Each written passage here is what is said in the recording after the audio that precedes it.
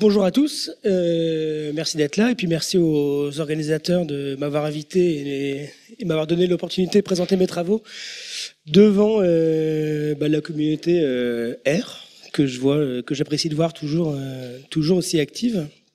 bon, ça fait bizarre de passer devant le derrière le bureau. Euh, mais bon, c'est l'occasion de vous montrer, de présenter un peu euh, ce qu'on peut faire donc au sein de l'Ifremer pour euh, avec R autour de la modélisation des données Océano Météo. Donc voilà, je vais vous présenter, je vais vous présenter ce qu'on fait. Oh, désolé, je mets mon chrono, histoire de pas oublier cette fois-ci. Euh, donc je commence par une petite présentation de, l'IFREMER pour ceux qui ne connaissent pas. Donc euh, l'IFREMER, on est un EPIC, donc un institut de recherche. bon, c'est pas, ma faute. J'ai rien fait, promis. Euh, donc l'IFREMER, on a un institut de recherche français, donc qui a pour la particularité d'étudier vraiment tous les océans, des grands fonds jusqu'au littoral et euh, d'opérer euh, bah, la flotte scénographique française euh, et les sous-marins habités, les engins téléopérés, qui vont permettre d'aller bah, explorer les, grands fonds marins et qui constituent un peu une spécificité de l'Institut. Et donc plus précisément, le, les, missions de l'IFREMER sont assez diverses puisque ça consiste à étudier bah, à la fois les aspects plutôt biologiques, les comportements plutôt biologiques de l'océan, mais aussi les ressources euh, physiques, donc la compréhension de, l'océan en tant que, système et euh, l'interaction entre l'océan et le climat. Également explorer bah, l'océan profond, comme je disais, et euh, bah, tout ce qui va être gérer la, la flotte, marine. Et c'est bah, plutôt dans la deuxième thématique que, ma présentation va, va se concentrer. Donc au sein de l'IFREMER, moi je suis dans un laboratoire qui s'appelle le LIMAR, le laboratoire d'hydrodynamique marine. Donc c'est pas du tout un laboratoire de maths ni de stats, mais euh, l'idée c'est de mettre ensemble des compétences qui sont euh, assez diverses pour étudier le comportement des structures en mer. Donc à la fois euh, modéliser leur comportement et modéliser l'environnement dans lequel elles se, situent. Donc ce qui va être plutôt ma, partie à moi de comprendre l'environnement marin dans lequel les structures évoluent. Et la particularité du laboratoire dans lequel j'évolue, c'est d'avoir euh, bah, quatre moyens d'essai dédiés. Donc on a ici euh, des, petites photos de, synthèse. J'ai pris ça, on a fait les 40 ans de, l'IFREMER cette année et des, portes ouvertes. Donc tout, il y a pas mal de gens qui ont pu voir ça à Brest, c'est assez unique. Euh, on a un laboratoire euh, dans lequel on fait des vagues et du courant euh, en, en, bas à gauche, là qui est situé à Boulogne-sur-Mer un gros bassin d'essai euh, qui est au milieu là, euh, donc une espèce de, de, grande piscine à vagues dans laquelle on met des structures, euh, des structures flottantes ou immergées, et un canal à houle qui permet de faire des, de simuler des, des houles en eau peu profonde, et également un site d'essai, en mer à petite échelle qui est marqué en bas à droite ici. Vous voyez qu'on a installé une éolienne flottante, donc qui représente en ce moment notre notre grosse activité, le, les EMR. Donc je, vais du, plus général au plus particulier. Euh, moi, je travaille vraiment particulièrement sur euh, l'océanographie physique et la météorologie, donc ce qu'on appelle l'océanométéo euh, en cours dans le, dans le milieu. Donc, qui va consister à modéliser vraiment l'environnement dans lequel les structures sont, euh, sont incluses pour euh, bah, deux aspects principaux, la modélisation des événements extrêmes, donc le dimensionnement des structures, qui va impacter le dimensionnement des structures et euh, les applications en euh, estimation de l'énergie qui peut être produite par les, par les systèmes, donc euh, si on parle d'énergie marine renouvelable. Donc moi je suis à l'IFREMER depuis 2016 et bah, j'utilise R depuis 2014, donc ça va bah, ce qui fait maintenant, maintenant 10 ans. J'ai switché en 2014 de MATLAB à R. Et mes collègues sont restés en MATLAB et je ne sais pas pourquoi, mais bon. Euh, donc, bah, mon plan de la, présentation, je vais essayer d'aller euh, de, de, partir euh, en bas à gauche là, donc euh, d'un peu le, plus euh, le plus euh, l'expérience qu'on a quand on est en mer. J'espère qu'on n'aura pas cette expérience-là ce soir, mais voilà, donc c'est vraiment les, vagues les, vagues individuelles, donc qui concernent de l'ordre de la seconde à la minute et l'échelle de quelques mètres. Euh, pour parler euh, plus, euh, plus général les états de mer, donc là on va quitter les vagues individuelles pour aller à la répartition de l'énergie et aller bah, évidemment plus loin vers les, les, les, climats, les climats de vagues et l'aspect plus, plus climatique. Donc typiquement quand on, a une, quand on met un objet en mer, pour aller mesurer l'élévation, pour aller mesurer les vagues, on obtient des séries temporelles euh, comme celle que je montre ici. Donc euh, cette série est assez particulière parce que c'est une des premières séries en fait où on a vraiment observé de manière euh, assez précise ce que les marins ont toujours appelé les les vagues les vagues. Donc c'est l'espèce de petit pic qu'on voit qu'on voit au milieu là. J'ai un pointeur. Donc voilà, c'était une des premières mesures de ces vagues. Euh, donc là, on a un, état de mer avec des vagues autour de, euh, au max, 5 mètres. Et euh, d'un coup, on a eu une vague très importante. Et donc c'était une des premières mesures en fait de, de ce phénomène un peu, un peu particulier. Donc ça, c'est vraiment le juste, juste de la mesure. Donc à la station, à la, plateforme en mer du Nord. Une autre image que j'aime bien, c'est une, image qui a été prise par, Thomas Pesquet depuis la Station spatiale internationale. Donc ça, pour ceux qui connaissent pas, c'est l'île de Ouessant, au large de, au large de Brest. Euh, donc c'est orienté euh, la nord-sud, hein, ça c'est euh, l'ouest. Et, et, on voit sur cette photo, bon, on voit pas mal de choses. Je ne vais pas revenir en détail sur tous les phénomènes qu'on peut voir ici, mais il y, a, vraiment tous les phénomènes qui vont rentrer en compte dans la génération, la propagation des vagues.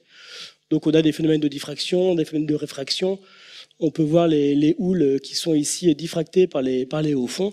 Bref, ici aussi, on voit des, des, ondes circulaires qui sont liées à la diffraction sur les hauts fonds. Donc on voit pas mal de choses. Et euh, donc tout ça pour dire que l'environnement marin et euh, les vagues sont un phénomène euh, bah, évidemment spatial, spatial jusqu'à la petite échelle. Et euh, et c'est ces phénomènes-là qu'on cherche à comprendre et à modéliser d'un point de vue bah, physique pour mes collègues physiciens et plutôt statistique pour, pour ma part. Donc, comment on peut modéliser ce, phénomène-là? En fait, si on simplifie le, problème physique et on considère que, que la surface libre, que l'eau est un fluide qui est irrotationnel, qui est incompressible, on arrive à trouver des, équations euh, relativement simples pour le, qui, résolvent en fait le, problème de conservation de la masse. Et on arrive à euh, ce qu'on appelle la houle de la houle de donc euh, vraiment le, le, modèle le plus simple de houle où en fait on a juste un, phénomène qui va dépendre ici de donc qui est un cosinus qui en gros se déplace dans le temps. Et dans l'espace, ici j'ai mis que une dépendance que en temps, histoire de déjà simplifier le phénomène. Et, euh, et, on a un, des fréquences euh, oméga i qui sont euh, bah, euh, dépendants, enfin qui évoluent dans le temps et dans l'espace avec une certaine relation de dispersion que je mets pas ici parce que c'est on, va pas s'intéresser à ce phénomène-là. Et euh, donc l'idée c'est qu'en fait notre phénomène nos vagues que j'ai présenté au, début, bah, on peut les représenter ici comme une somme de cosinus avec des certaines amplitudes, de certaines phases. Bah, vous reconnaissez la définition d'un, enfin la définition, tout du moins une une, illustration des, euh, de la transformée de Fourier, de la projection sur des bases de, cosinus. Et euh, ben on peut noter, je note grand X ici, donc la, la transformée de Fourier du processus, et euh, je note Sx ici, donc la valeur absolue de la transformée de Fourier, qu'on va appeler le spectre ou euh, densité spectrale de puissance euh, du, euh, processus. Donc peut-être une façon de plus facile de le voir dans la communauté, c'est de, voir que le spectre ici, c'est une transformée de Fourier de la fonction euh, d'autocorrélation du processus. Donc on regarde la transformée de Fourier de, l'autocorrélation et on retombe sur la densité spectrale de puissance. Donc c'est deux façons euh, similaires de le voir. Euh, on travaille sur la densité spectrale de puissance puisque on a des choses qui sont représentées de manière théorique par des cosinus et des sinus.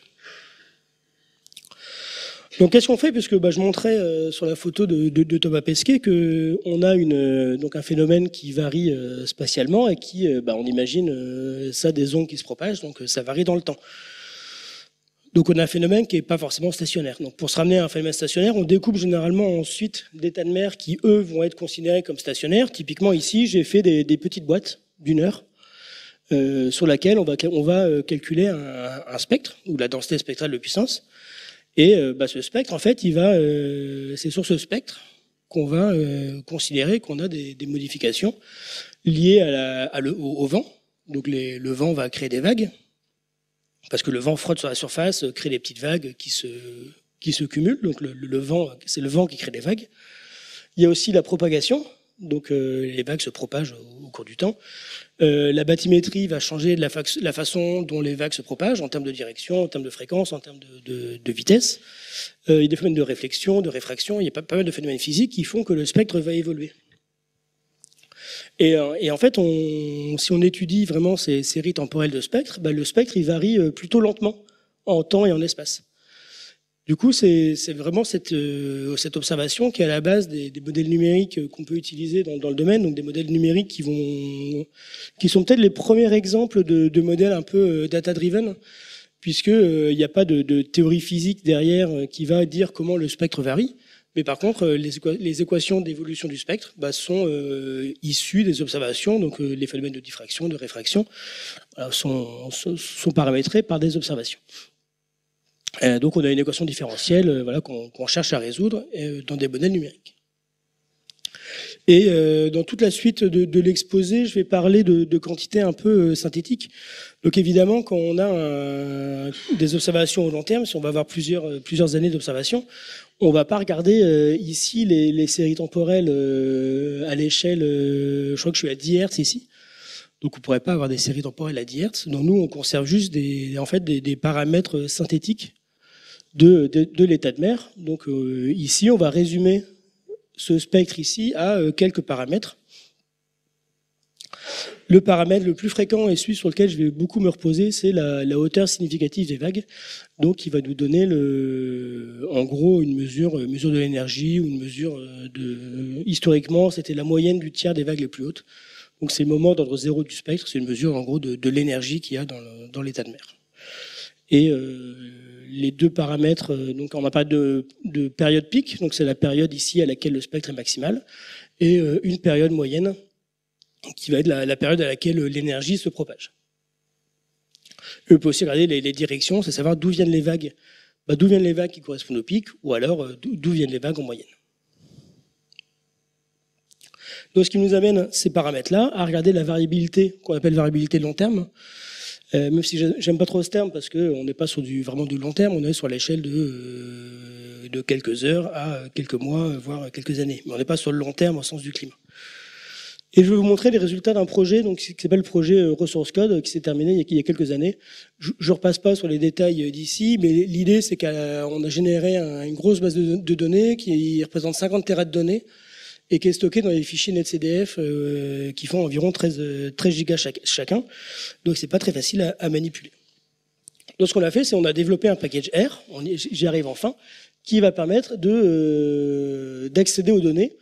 Donc euh, grâce à euh, une base de données aux disponibilités qui s'appelle Apache Cassandra, donc qui permet de, donner accès aux données. Et ce qu'on a fait, c'est que dans, le package R, on a mis des en gros des, fonctions qui permettent d'aller taper dans cette API. Avec en plus quelques fonctions qui permettent d'aider euh, à accéder aux données et de, pouvoir les, visualiser. Donc euh, c'était la première fois que je faisais vraiment un package euh, complet et c'est vrai que entre package, package les GitHub Action, etc. C'est vraiment, je trouvais ça super facile. Voilà, une super super expérience. Donc un petit exemple ici, euh, donc euh, on a une grosse base de données. L'idée, on a une fonction qui permet d'aller euh, trouver le, quand on donne un point, les coordonnées ici. On a une fonction qui, permet de trouver le point le, plus proche et d'aller récupérer les paramètres d'état de mer en ce point-là sur un certain nombre de paramètres qu'on veut. Et ces paramètres sont récupérés de manière, directe en ligne sur, la, base, de données Cassandra. Donc, euh, ça permet d'extraire en fait assez rapidement des séries temporelles au, point qu'on veut. Et on obtient ici donc une, un data frame avec les paramètres qu'on a demandé.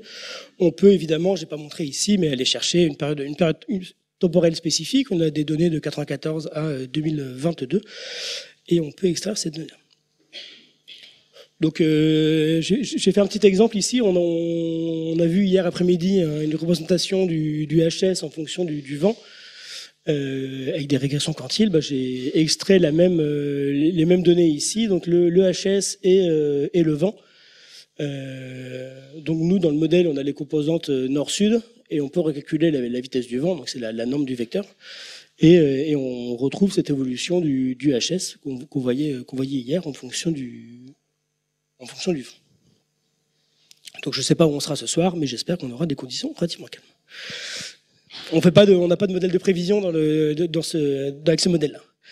Donc une petite euh, illustration de la carte, la couverte par le, par les données. Donc on va du sud de l'Espagne au nord ici des, îles, et on a une grille euh, triangulaire euh, sur la sur les données.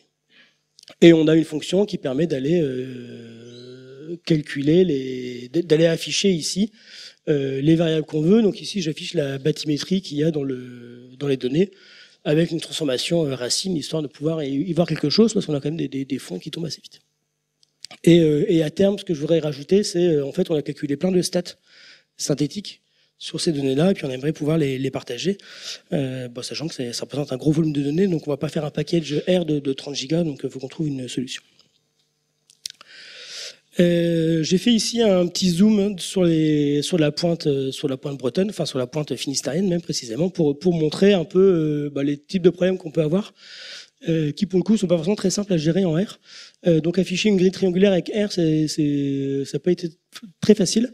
Et j'ai pas trouvé de, façon de le faire comme il peut y avoir dans, MATLAB ou Python, faire une interpolation en fait linéaire sur les triangles ici. Donc on voit qu'on a quand même un, un plot un peu un peu discrétisé qu'on voit pas quand on est sur la, grande échelle, mais quand on zoome, on le voit. Et euh, mais bon, on affiche quand même notre grille triangulaire à, relativement haute résolution.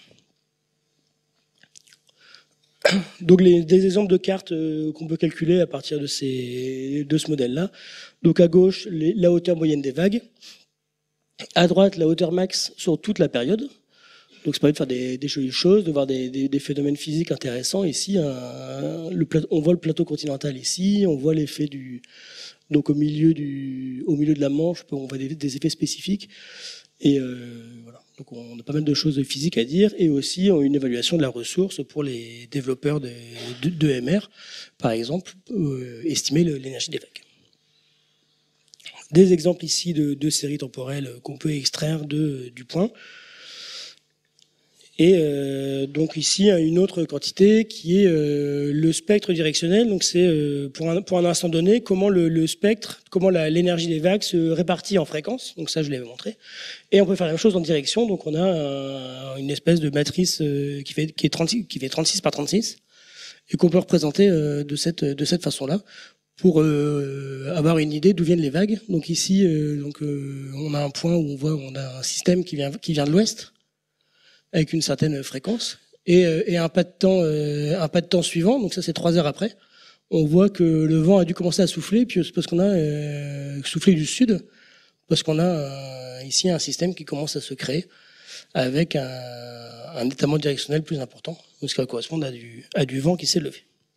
Donc ça, c'est les phénomènes qu'on peut voir dans les données, et on a bah, développé les, les codes pour, le, pour les représenter. Euh, je passe rapidement sur le qu'est-ce qu'on peut faire d'autre euh, à partir de ces de ces données-là que juste les représenter. Euh, donc c'est ce qu'on va appeler l'émulation statistique. Donc c'est, je disais précédemment, on a un gros modèle numérique qui est compliqué, qui a tourné pendant 2 millions d'heures, CPU, mais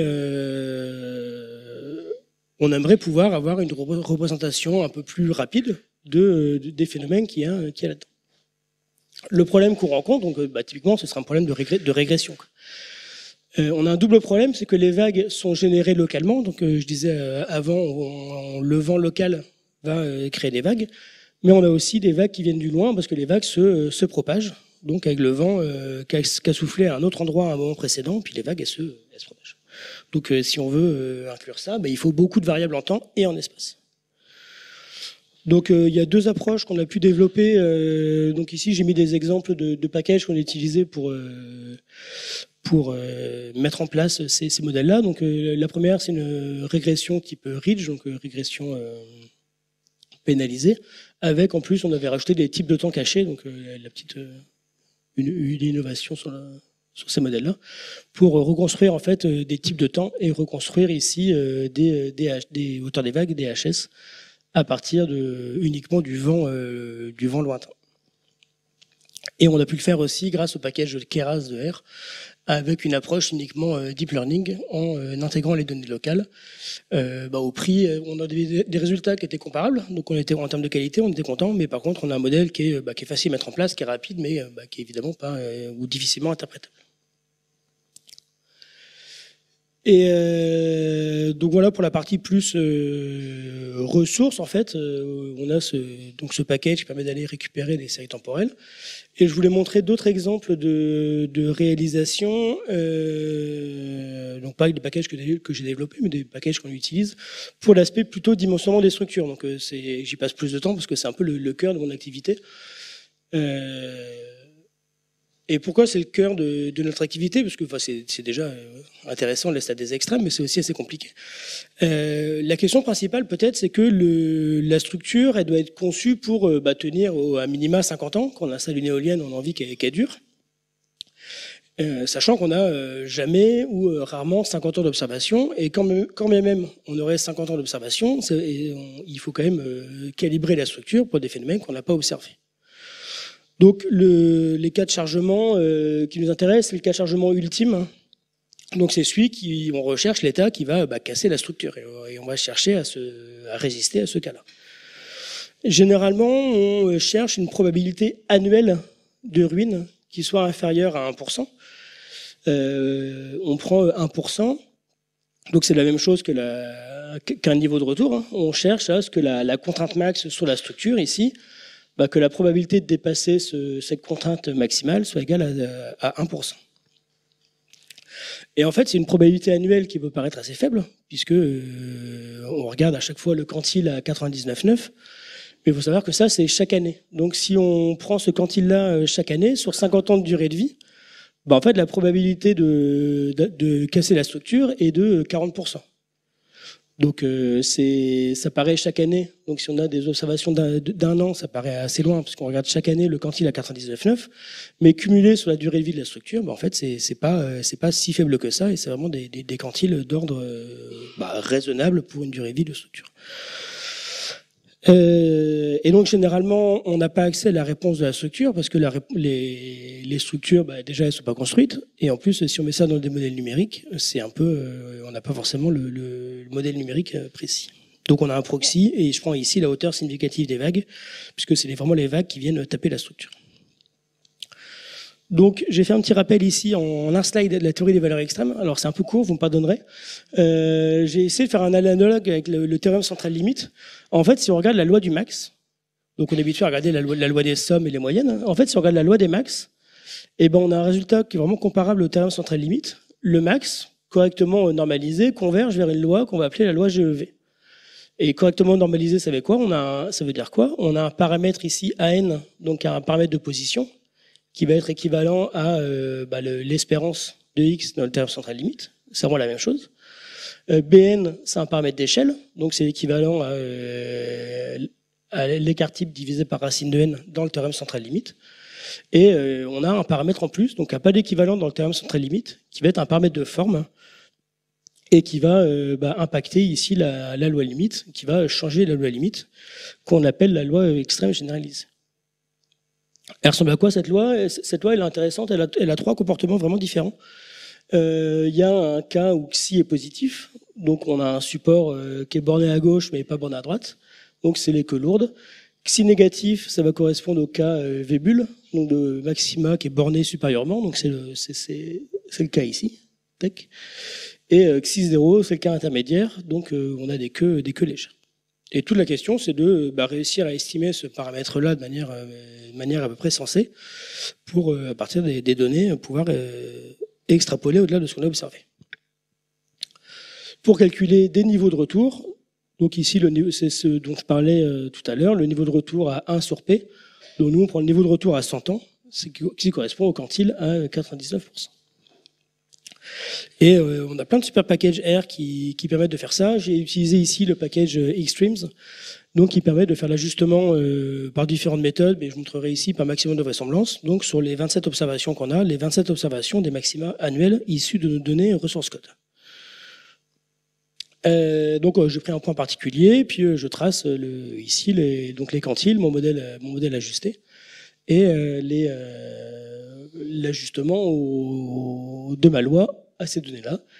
Et donc à partir de, cet ajustement, donc ici la courbe noire donne la courbe des modèles, des modèles, des quantiles du modèle, pardon qu'on retrouve ici sous une autre vision euh, de la période de retour associée à une valeur donnée ou du niveau de retour pour une certaine période de retour. Donc on retrouve ici pour 100 ans notre estimation du niveau de retour. Et ce qu'on peut voir là, bah, c'est que euh, on a quand même peu de données, on a 23 ans de, données, un modèle à trois paramètres, on cherche à extrapoler au-delà du support, donc on a des, intervalles de confiance qui sont, euh, qui sont vraiment énormes. Le deuxième problème qu'on peut rencontrer, c'est que bah, évidemment, on a des variances d'estimation qui sont, importantes. Donc ici, j'ai pris deux points, euh, deux points très proches. On a vraiment deux points très proches. les, quantiles euh, sont quasiment les mêmes, et puis on a quand même une grosse variance d'estimation. On peut voir ici que la droite, elle passe pas du tout de la même façon dans le, dans le nuage de points, et euh, elle n'est pas du tout inclinée de la même façon. Donc ça change quoi? Ici, j'ai représenté des cartes. Donc en chaque point de la grille, donc j'ai discrétisé histoire d'avoir que ce soit un peu moins long euh, à tourner. Puis j'ai fait juste un petit un, petit coin.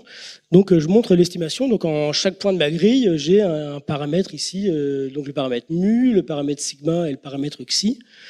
Et ben, on s'attend à avoir quelque chose de relativement lisse en espace parce que le, le HS est lisse en espace, mais c'est pas du tout ce qu'on observe. On a quelque chose qui est assez qui est assez bruité et notamment sur le quantile à 99, euh, à 99%, donc le niveau de retour à 100 ans, eh ben on a ici des valeurs de retour à plus de, à plus de 30 mètres, ce qui d'une part euh, physiquement pas réaliste, et surtout euh, pourquoi on aurait un, HS à 30 mètres ici et juste dessous une valeur à 20 mètres. on s'attend à ce que le HS soit, soit beaucoup plus lisse en espace en fait.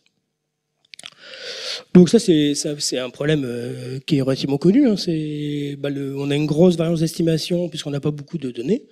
Et en plus, les estimateurs au maximum de vraisemblance, ils sont corrélés entre eux. C'est ce qu'on peut voir ici. Euh, en fait, y a, ça se comprend assez bien. Il y a un compromis entre savoir si le phénomène il a une grosse variance, donc un sigma élevé, ou alors une queue lourde. C'est ces deux phénomènes qui sont difficiles à distinguer en fait. Donc, euh, donc ici, on voit que sur cette zone-là, il a préféré avoir un XI euh, relativement lourd, donc euh, à 0,5, et un, du coup une variance assez faible ce qui nous amène à, quand on extrapole, à avoir des valeurs très, très importantes. Donc, qu'est-ce qu'on peut faire pour améliorer ce problème? Une des approches euh, est de passer par les, des dépassements de seuil pour avoir plus de valeur. Et moi, j'ai préféré montrer ici la modélisation des max mensuels et euh, du euh, lissage spatial. Donc, pourquoi je parle de max mensuel? Parce qu'en fait, ça permet de retrouver la loi des, des max annuels. Bah, pour que le max annuel, la fonction de répartition du max annuel, si nos valeurs sont indépendantes, il suffit de faire le produit des fonctions de répartition. Et donc avec, euh, donc par contre, on a des, quelque chose qui est plus stationnaire en, qui est plus stationnaire en temps. Donc on fait des, on peut faire des modèles gamme qui permettent de d'incorporer des noms euh, des non stationnarités dans le modèle, avec euh, bah, ici des, des de lissage et euh, j'ai quelques figures avec euh, bah, trois packages que j'utilise, donc MGCV, Gracia pour les plots et EVGAM, qui sont des choses qui sont uniques en fait. Euh, mes collègues qui travaillent en Python ou en MATLAB n'ont pas d'équivalent. Enfin, c'est vraiment avoir ces fonctions-là sur des sur, la GEV, c'est quelque chose qui n'existe qu'en R à ma connaissance. Donc ici, on projette sur des bases cycliques. Et on peut obtenir des, trucs assez sympas. Donc euh, là, c'est l'évolution des paramètres ici euh, de position et paramètres d'échelle au cours du temps. Euh, donc au cours du mois. Et donc on montre qu'on baisse beaucoup la, variance d'estimation et, et qu'on a bah, des valeurs relativement cohérentes avec des variances d'estimation beaucoup plus faibles. Et donc, si on regarde, euh, je, passe juste rapidement sur cette euh, figure-là, on peut aussi regarder, bah, on projette sur des bases de plus en plus compliquées, enfin raisonnablement, et, euh, et, on peut voir comment la saisonnalité varie au cours du temps, pour montrer comment le, bah, on a une, notion de aussi de, changement climatique qu'on voit déjà dans les données. Donc, si on regarde ici sur le quantile, toujours à 99 des max mensuels, bah, on voit là que globalement les saisons se sont euh, moins marquées. Entre la, fin de la période et le début de la période, les saisons sont moins marquées. Et par contre, les hivers deviennent plus importants.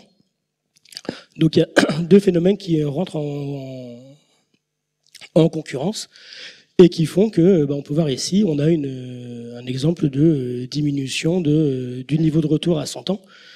Donc je fais le, le produit à chaque fois de ces fonctions de répartition marginales. Et j'obtiens cette chose-là, j'ai rajouté cette fois-ci les intervalles de confiance associés. Donc voilà, je passe sur la partie euh, spatiale parce que j'arrive au bout du, bout du temps. Euh, donc si je reviens rapidement sur, euh, sur ce que j'ai montré, euh, donc voilà, on a une variabilité euh, court terme qui est importante pour le dimensionnement des structures, mais on n'y a pas accès directement euh, quand on regarde les modèles numériques. C'est des choses qui ne sont pas dans les modèles. Donc on regarde, voilà, donc il y a, toute une partie qui consiste à regarder comment la variabilité court terme est impactée par l'état de mer global. Et si on regarde la variabilité des états de mer, bah, le, les modèles GAM sont une super approche pour à la fois réduire les incertitudes, augmenter les données, et aussi euh, bah, avoir une représentation un peu plus complexe du, euh, de l'état de mer. Et euh, bah, ce que je n'ai pas montré, mais ce vers quoi on cherche à aller, c'est les extrêmes multivariés. Donc euh, prendre en compte à la fois, euh, par exemple, la, direction des vagues, comment la, est la direction pour les états de mer sévères, et voir comment sont les spectres dans les états de mer extrêmes. Et bah, j'ai commencé à montrer des travaux sur lesquels on s'est lancé, de regarder la variabilité climatique et donc les impacts du changement climatique sur les états de mer, sur la saisonnalité, et quel impact ça a sur l'énergie euh, productible. Et donc, euh, bah, j'ai essayé de montrer par ces quelques exemples que euh, bah, R, c'est un, super outil qu'on utilise au quotidien dans nos activités et euh, bah, qui est doté en plus d'une communauté qui est, très active. Il y a plein de packages qui sortent et, qui permettent d'utiliser ces modèles-là et de, que ce soit de plus en plus simple en fait de les utiliser. Donc, donc, voilà. donc merci à toute la, la communauté. Donc voilà, merci à vous.